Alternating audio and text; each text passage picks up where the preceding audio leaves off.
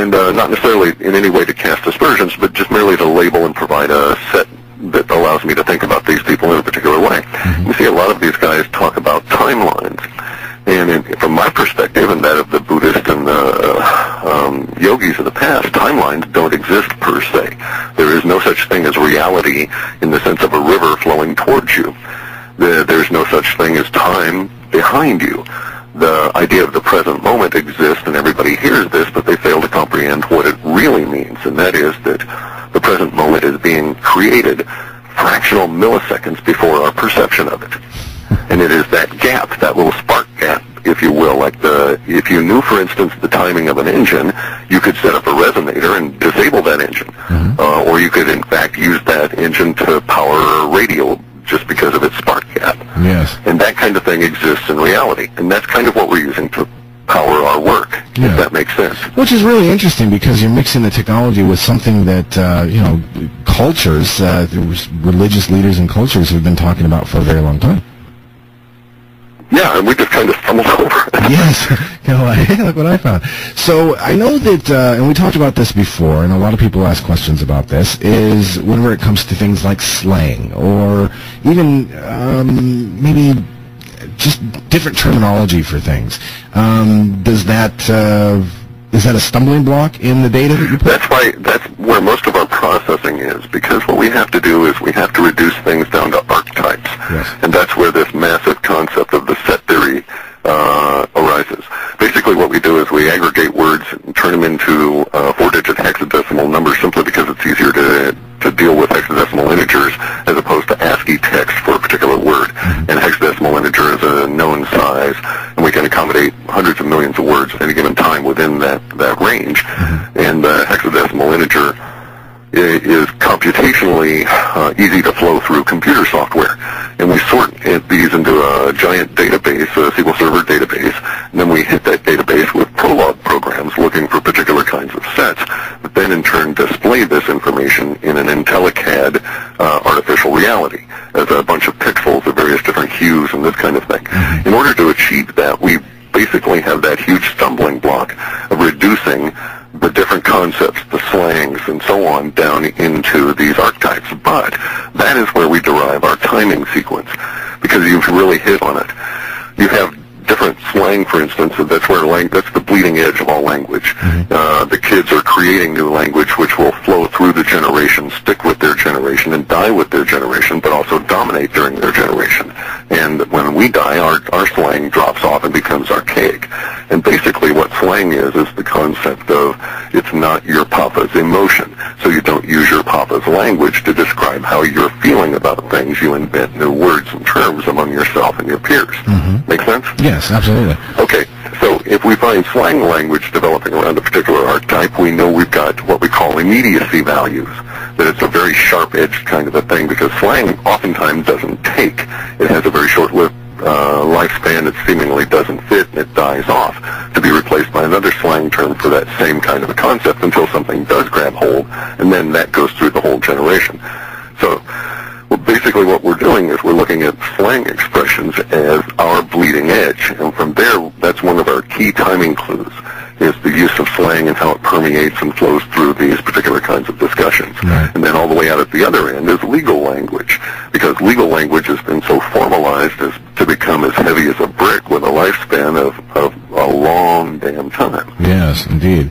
Well, I was I always try to uh, imagine. I mean, here you get, you, you compile all this data, and you start looking at it, and how do you go through and sort through to know how the pieces fit together as far as an event in Wall Street, or an event in uh, the world, or earthquake, or tornado, or flood, or war, or what have you? How do you, how do you actually Well, sort that? just hit 'em- you just hit on it with your whole series of questions because you basically reduced it down to their archetypes: Yeah.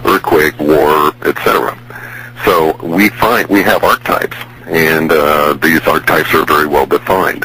An archetype uh, might be, for instance, war, which has 44,000 nouns and verbs which describe it in our database. And whenever we find any of those 44,000, more or less, uh, nouns and verbs associated in a particular way, then we put a tick mark next to war, which heightens that particular uh, hue of that particular pixel group. I see. Makes sense? Yes.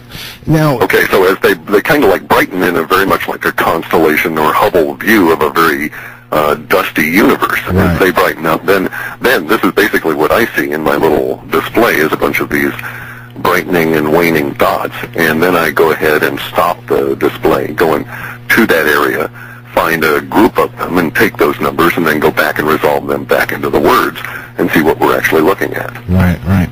And then we make an interpretation that. Well, 09, a lot of people are uh, sending an email tonight that are uh, kind of getting their predictions, kind of like tapping their psychic centers a little bit to send in their predictions, which we're, we're putting all the emails off to the side and recording them and saving them.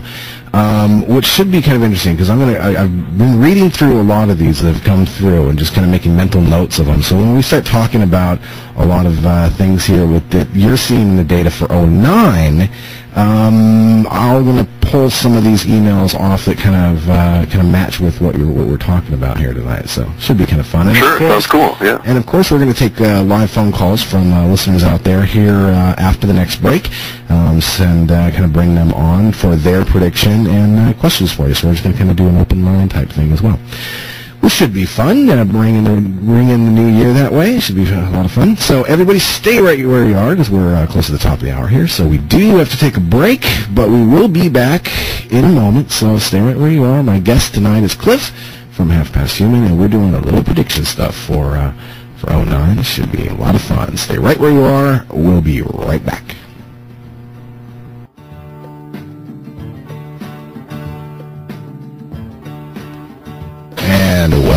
Back, everybody. Happy New Year to everybody, or Happy New Year's Eve, anyway.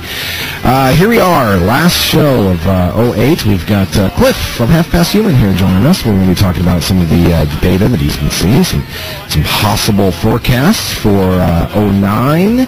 And uh, boy, oh boy, I got some questions rolling in from you folks out there, which I don't mind at all. Feel free to email me, CaptainJack, WPR2Radio.com. I will keep a close eye on the emails tonight. We're going to be talking about a couple of things here right off the bat. One of them, um, a uh, Russian professor has uh, been talking about the, the, the, the, the, fall, the destruction of uh, the United States uh, economically, and which would lead into a civil war. Um, part of Canada would move in, take over part of the United States. Uh, of course, Alaska would go back to Russian control. Which is kind of uh, interesting, and this is what he's been predicting for a long time. He says that the numbers are good. The data is positive on this. I don't know. Let's, uh, Clif, uh, did you did you see that article about that uh, guy? Yeah, yeah, I've read read the article and I went and read some of the underlying research, and and I have to say I don't disagree with a lot of it, but I do have a lot of suspicions about his conclusions. That is to say, the particular way in which he says the U.S. would break up and be assigned, if you will, to other countries Yes. because it, uh, it, it, on its face, it denies the complexity of the situation, and it's seeing the United States from outside the U.S. So he has no idea how gnarly it's going to get once we get to scrapping among ourselves and just what we would do. But one thing I can assure you of is that the United States in general uh, has a, a predisposition culturally to not want to necessarily align with people. Uh-huh. And so I think that even if we were to dissolve, it would be kind of like a nest of badgers.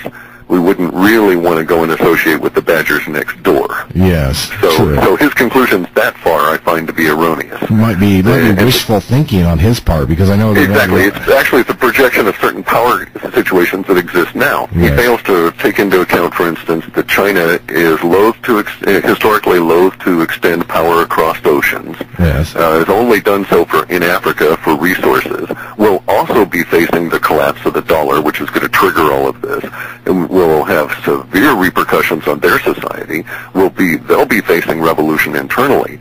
He's probably correct in that Russia probably will not face revolution the way that um, pretty much the rest of the planet will. But that doesn't necessarily mean that Russia is going to extend itself to the point of becoming a planetary policeman and trying to keep the former United States from destroying itself internally. yes. Makes sense? Yes, absolutely. And I know that in one of the articles, whenever they were talking to him about this, he um, he kind of coyly smiled at the idea of the United States kind of falling apart. But he did say that if that were, were to happen, it would be wouldn't be so great for Russia, though, either. Correct. Yeah, it, it, it's not a good thing for anyone. Yeah. In our data sets, we actually can't deny the underlying theme that economic pressures will push us to the brink and beyond. Now, what that beyond is going to be is his su- supposition would be that we would would have some level of civil war or, or dissolution. That that may be correct. We may have a dissolution, but I doubt it'll fracture out along the way that he thinks. Yes, but you you are definitely seeing something in the data that kind of suggests that he's he may be correct on this, though, right? Um, to a certain extent, it validates his position, but his position, let's bear in mind, is in isolation. He does not note that the same pressures that are going to create revolution in the U.S. are also going to create revolution throughout Europe, through most of the Anglo-American empire, and certainly in China and in its area of influence. So